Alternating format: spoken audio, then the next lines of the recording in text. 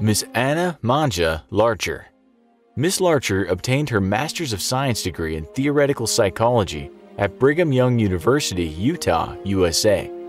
She worked closely with Dr. Richard N. Williams, the president of the Wheatley Institution for Social and Cultural Research. Miss Larcher and Mr. Williams have co-authored the paper for this conference. Miss Larcher also has a Master's of Fine Arts degree from Florida State University, USA, where she was a graduate student of dance and choreography, wrapping up her many years of professional experience as a ballet dancer. She is a member of The Church of Jesus Christ of Latter-day Saints, Mormons.